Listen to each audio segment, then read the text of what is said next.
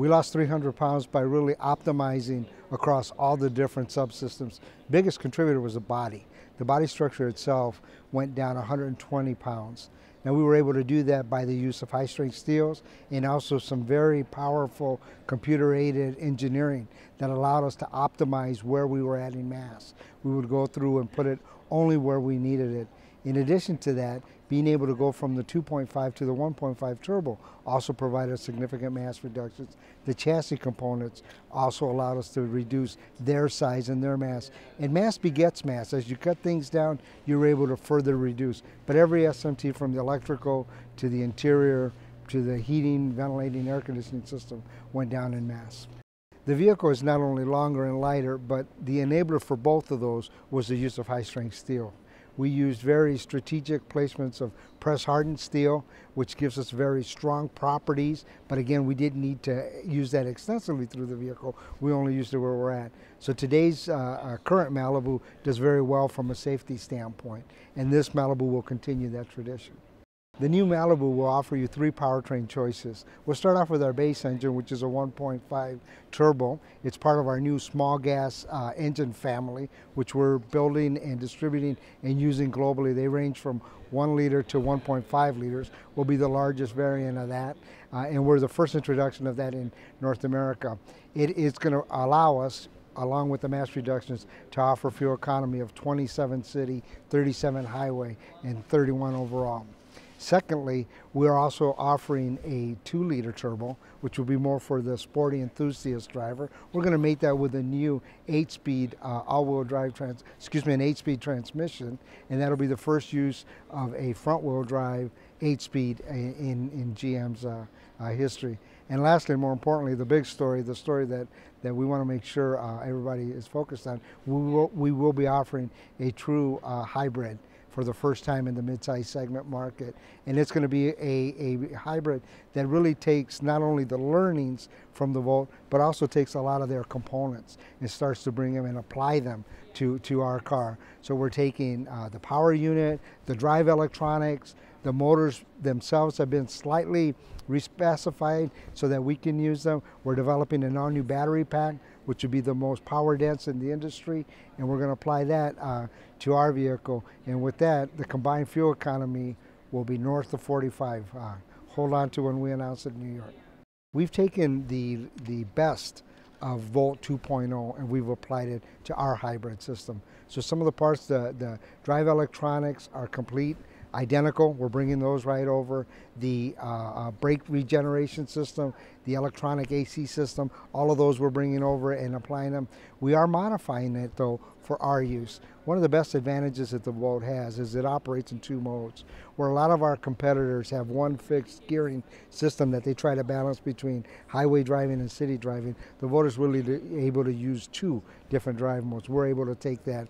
We've modified the, the motors themselves so that they can provide us more of an acceleration and assist as opposed to a pure EV driving mode. So our purposes are different, but we're taking the technology and the learnings and making them beneficial and making them more apropos to our customer base. While the new 2016 Malibu has a lot of stories, interesting stories to share with the public, one of the most interesting stories and one of the ones we're the most excited about is our new hybrid that we're introducing, sitting right behind me. And, and this hybrid is really one that we've built off of the learnings and some of the components from our Chevy Volt. As you know, our Chevy Volt is our entry into the hybrid extended range electric vehicle uh, market. And we're taking their learnings and some of their actual parts and applying them to meet our needs. The reason we wanted to do a hybrid and bring it into this segment is for this customer base, fuel economy is extremely important. And with the systems that we've taken from the Volt and applied them to our new Malibu, we're going to be having a combined mileage that will be north of 45. Hang on so we make our announcement in New York. With the 2016 Malibu, we're bringing nine new uh, safety technologies to the Malibu. A couple of these that I want to highlight are, the first one is Lane Keep Assist, which is built off of Lane Keep, uh, Lane Departure Warning, excuse me. So as you're driving down the road and you start to drift over the lines on the road, the forward-looking camera can see that, sense it, and if you don't have your turn signal on, it assumes you're starting to drift over. So it will give you an audible beep and let you know that you're drifting over. With lane keep assist, if you continue on that path, the electronic power steering system will actually give you a little nudge and keep you in your lane.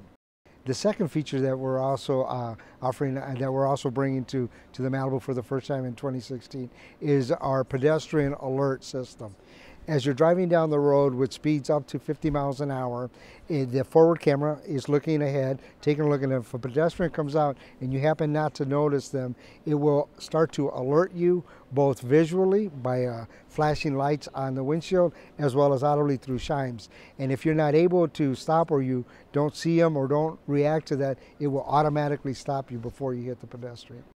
One of the one of the features that we're bringing forward with the 2016, and it's one of my favorites as a father of a 16-year-old uh, driver, is Teen Driver. And what Teen Driver allows you to do is you will go in and you will be able to match your fob to the driver. So then in the system you're able to set alerts for both for for high speed so that it's above a certain speed between 40 and 75 miles an hour and audible time will come on. You're able to limit how high the volume can be increased in the vehicle, and to me more importantly, and I think it's one of the clever ones, is the auto is muted and the radio will not come on until the passengers have buckled their seatbelts. So if there's a driver and a passenger, both need to be buckled before they can finally listen to what they want to listen to.